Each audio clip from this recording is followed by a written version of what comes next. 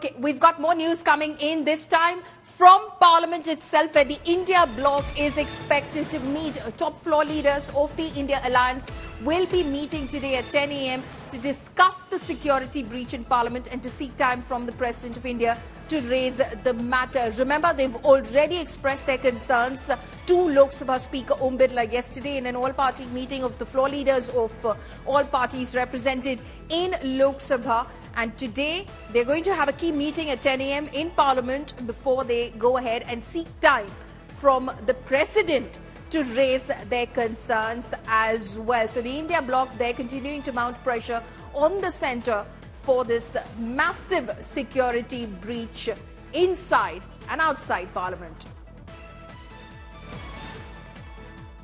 My colleague Amit Bharadwaj is joining me over the phone line right now. So the India bloc, they're all set to corner the government, Amit, over what happened in Parliament yesterday. Now expected to seek time from President Murmu to raise their concerns with her.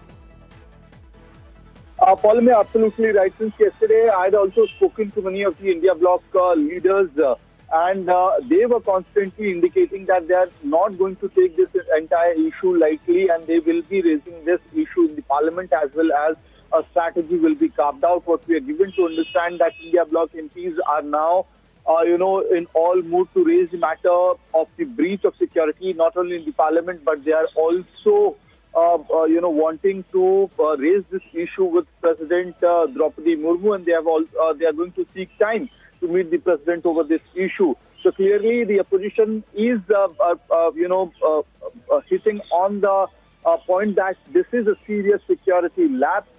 on the other side, you also have MPs such as Priyanka Chaturvedi of the Shiv Sena, you know, saying that there are, there is an attempt to dilute the issue and to pin the blame on the opposition parties.